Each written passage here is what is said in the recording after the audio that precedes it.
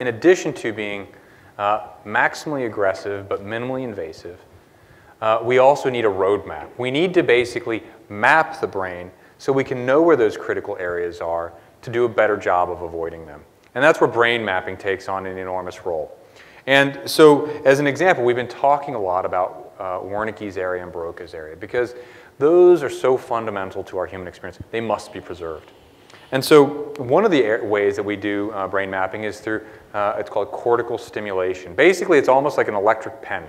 And basically, what you do is you stimulate uh, uh, the, the surface of the brain while people are talking, actually and you keep on stimulating. And what that stimulation does is actually creates a virtual lesion. Basically, it stuns that area of the brain benignly so that that area doesn't work for just a few moments. So that while people are talking, if you can get them to stop, that you know that's a functional area. And essentially, it gives you a test so that you can know ahead of time if I, what will happen if I go into that area? What will happen if I operate on that area?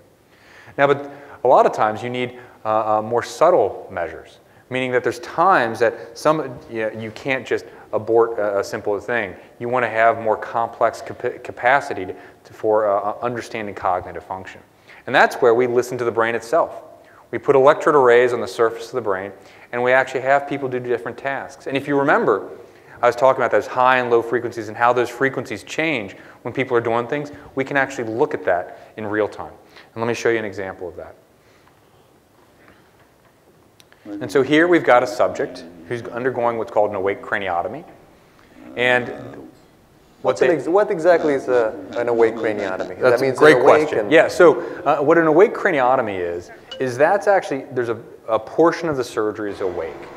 And again, what an awake, that means mean, we've numbed up their head, we've exposed their brain, and then we wake them up, and we actually talk to them. It sounds barbaric, but actually we do it for very important reasons. There's certain functions you can't map when they're asleep. Certainly, as an example, talking is one of them.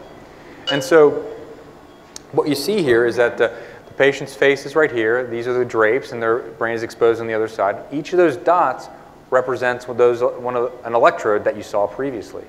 As those circles get bigger, uh, that means that area is becoming active. And so in this particular example, uh, they were moving their hand, then they're going to move their tongue, and then they're going to say the Pledge of Allegiance. And you're going to see different areas of the brain light up.